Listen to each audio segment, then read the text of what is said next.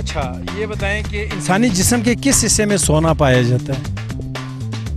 पूरे जिसम में। सोना जो है ये सोना। वो नींद वाला सोना नहीं गोल्ड। बाल। जी। बाल। बालों में? जी। बालों में सोना होता तो बाल कोई कटवाता ही ना। और अगर कटवाता तो वो अजाम को कहता है इसको जल्दी एक बाल इधर उधर नहीं होना चाहिए। है जी? दिमाग में फिर? नहीं। नहीं मालूम नहीं मालूम सही